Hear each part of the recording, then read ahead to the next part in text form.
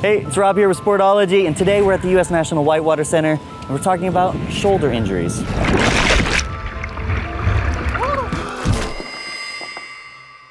the reason I want to talk about shoulders is that, well, it's something that affects me as an athlete quite a lot. Come on, honey, paddle, paddle, paddle. I do a lot of rolls, do a lot of moves that put a lot of stress on my shoulder. So we're here to talk to the expert, Dr. Piasecki. Made it. Yeah. Good to see you. Yeah, you too. You look more like a kayaker out here. and I only say that because I had already met up with Dr. Piasecki in his office where he examined my shoulder and gave me a quick overview of the shoulder joint. Shoulder is the joint in the body that has the most range of motion It has the least constraint. So if you look at your hip, your hip's like a true ball and socket joint. The shoulder's like a golf ball sitting on a tee. The way it keeps the ball on the tee is it has a lot of muscles that go all the way around and they pull from different angles on that ball. It's muscle balance that has the biggest impact on pain.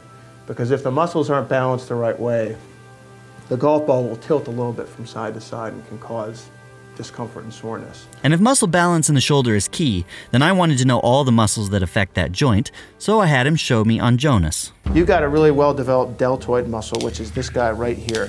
It forms like a V that comes down like this. That's the deltoid. The pec is this guy right here. Everybody knows about the pec from doing bench press stuff. This is your trapezius muscle up here. You got a, a rocking biceps right here, and your triceps is this guy right back here. And then you can see all these other muscles in here. They're not as well defined. It's kind of hard to point them out, except to say that the lat, the latissimus, runs up here. So do like you're doing a pull up on a, on a, there you go. This is your latissimus right here, coming up like this. That's your latissimus. And then all the muscles that rotate the shoulder out and that connect the shoulder blades are these guys right in here. They're, they're the rhomboids and the levators, and they connect the shoulder blade here to the spine in the back. And then the rotator cuff muscles are underneath this.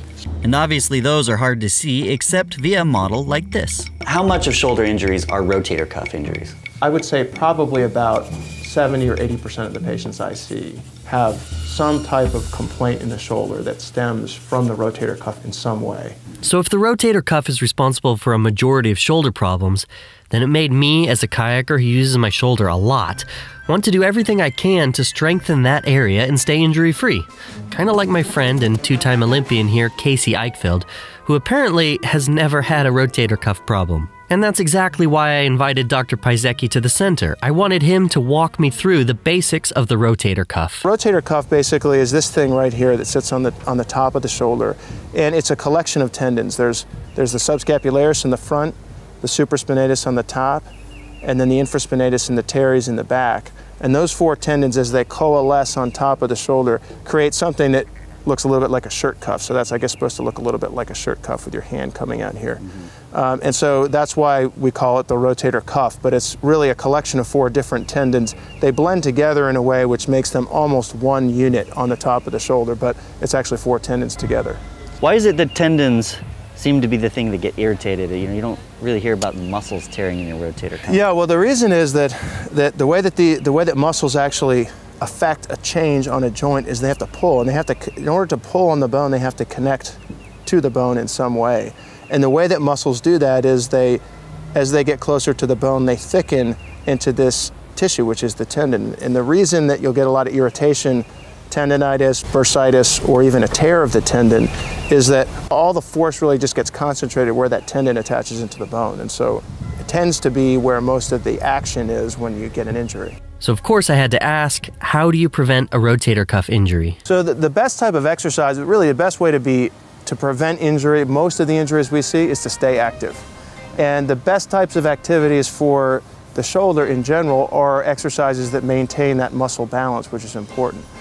And most of the time, the, the areas of the shoulder that are the weakest are the rotator cuff and the shoulder blade muscles. And so, one of the best ways to keep those, those muscles in shape is to do some type of upper body aerobic exercise. So kayaking is a great exercise for the upper body. Some exercises you could do on your own are just rotation against resistance. So if you take a, an elastic band and tie it to something and rotate your arm out against resistance and then come the other way against resistance, that type of an exercise that's making you res- rotate the shoulder against resistance will, will strengthen those muscles. So here's what you need to remember. A lot of shoulder pain is linked to an imbalance in the muscles. And the shoulder blade muscles that lead to the tendons we collectively call the rotator cuff can be strengthened considerably actually doing aerobic sports like, well, kayaking. Thanks for watching. Remember to subscribe. We got new sport videos coming out all the time. Also, the continuation of this video is right here, Tendon Basics. Make sure to check that one out. And we'll see you in the next video next month. Come on, Rob, come on. Nice. Killed it! That was such a good run. Considering I hit the wall in the first one I missed three gates. But you know, You don't have to tell anybody that.